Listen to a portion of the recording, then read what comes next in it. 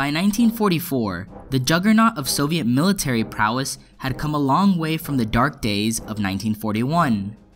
Smaller successes like Operation Little Saturn gave the Soviet High Command a glimpse of what was to come, and more importantly, much needed experience. However, before the success of the summer of 1944, the Red Army was still plagued by overambitious offensives that ended in utter defeat. For example, as soon as the December counteroffensive of 1941 succeeded in pushing the Wehrmacht back from Moscow, Stalin ordered for a second offensive to begin on January 7, 1942. The broad stroke style offensive proved too much for the ill prepared Soviet army, which suffered various encirclements in what was to become the Rzhev salient.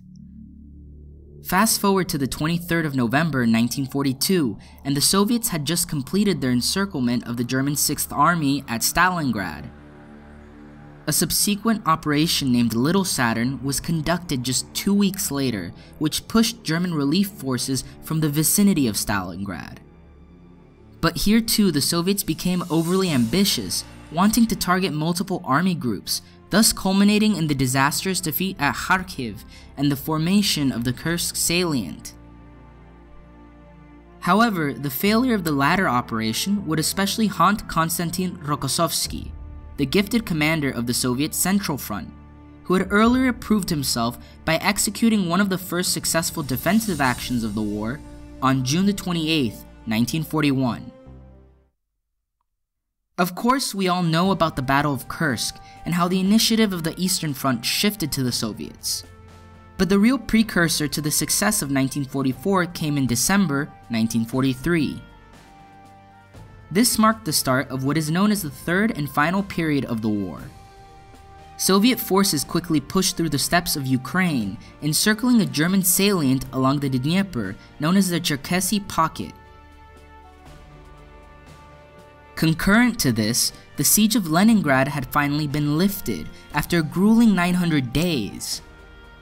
In particular, the Oranienbaum salient, which had never fallen to the Germans, was reinforced by sea, thus allowing for a breakout. The Germans subsequently fell back to the Baltic. In the south, the Soviets attempted to use the Carpathian Mountains to cut the Germans in two. Thus, they attempted to replicate their previous success in the Dnieper by encircling the 1st Panzer Army, but this failed with a successful breakout in which 200,000 German soldiers escaped. Even then, in the further south, the 6th Army was also able to evade encirclement, but only just.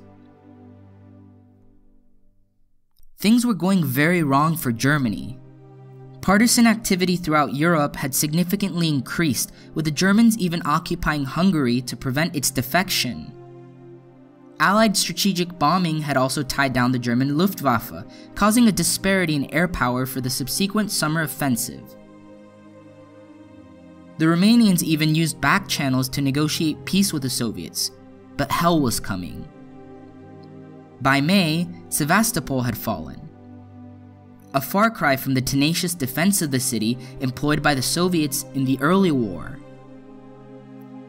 The only area that seemed safeguarded was Belorussia, which was able to deflect limited Soviet attacks during the first half of 1944. The front line protruded outward in what would become known as the Belarusian Balcony. The Soviets had obviously improved in their avoidance of broad offensives, However, the chaotic nature of early 1944 still beset them with challenges.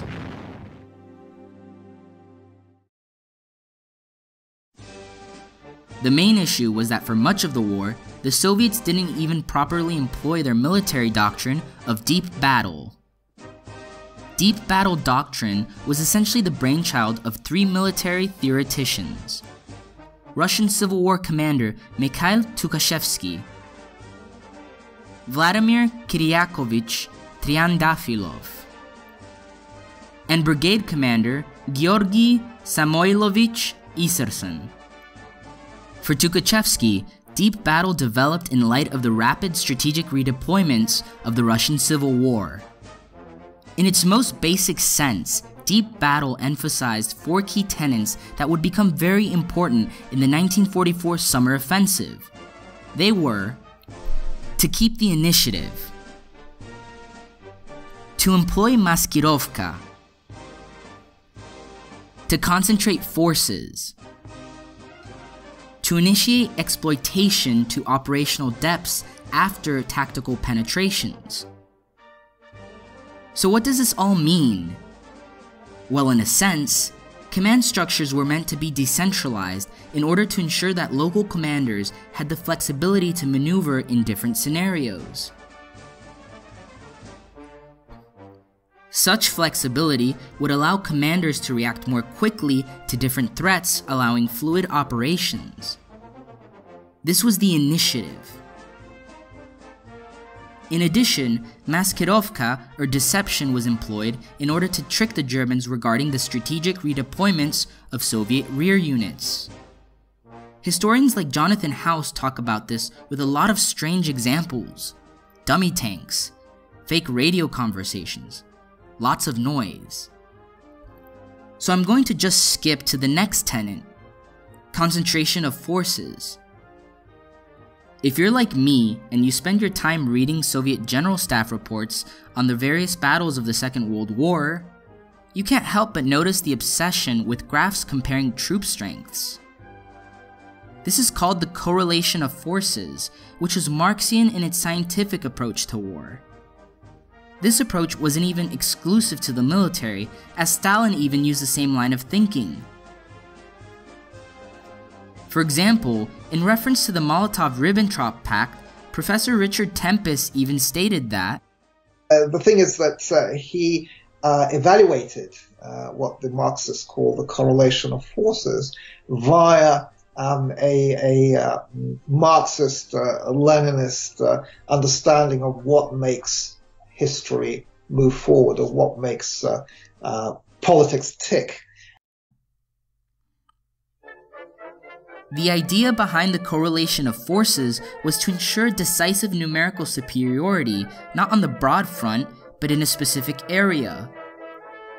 Isserson went on to elaborate. No offensive mission can be accomplished without clear and decisive superiority on the axis of the main front. Any speculation about distributed fronts, reduced densities, and the possibility of combined blows along various axes contradicts the conditions of modern combat. Hence, the first three tenets of deep battle cover the sort of general prerequisites to an assault. But how would said assault come to fruition?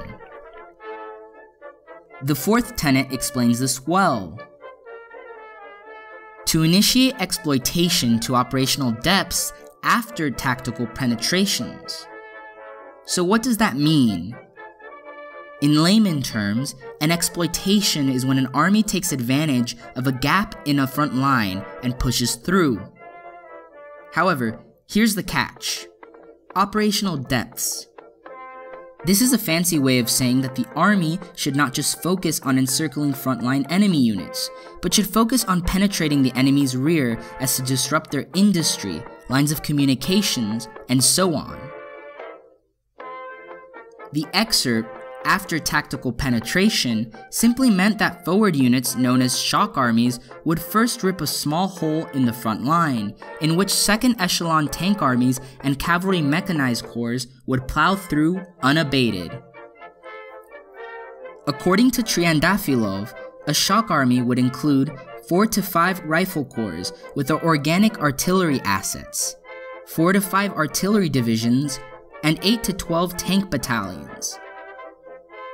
The key was timing, as early exploitations wore down mechanized units significantly, thus halting the exploitation, whereas late exploitations could give the enemy time to plug the gap.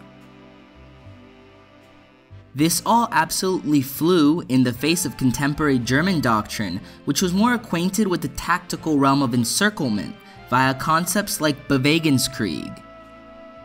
We can even see this logic with Hitler's prioritization in destroying the bulk of the Red Army through encirclement in the western borderlands. This was opted rather than the capture of Moscow during the planning phase of Operation Barbarossa. So I'm not trying to say German doctrine was bad, but yeah, it was bad. This is because Bewegungskrieg would essentially have tanks focus on a single decisive point, or Schwerpunkt, in order to form a breakthrough for the mechanized infantry to rush through. There seemed an emphasis on finding an enemy's vulnerabilities rather than in creating them. German theorists essentially relied on maneuver for exploitations, whereas the Soviets created exploitations through careful wear and tear. German doctrine seemed more appropriate to the 19th century given the limited size of armies and the ample opportunity for envelopment, which would be dictated by speed. However, Soviet doctrine took into account the advent of the operational level of command, and how extended front lines would present more difficulty in maneuver based exploitation. Furthermore, Soviet deep battle doctrine emphasized on the double envelopment, and not just the focus on one decisive point. This divergence in thinking is further confirmed by the fact that the main Soviet forces in Operation Bagration actually attacked the most fortified areas, thus disregarding the essence of Bewegungskrieg, to attack a vulnerable point.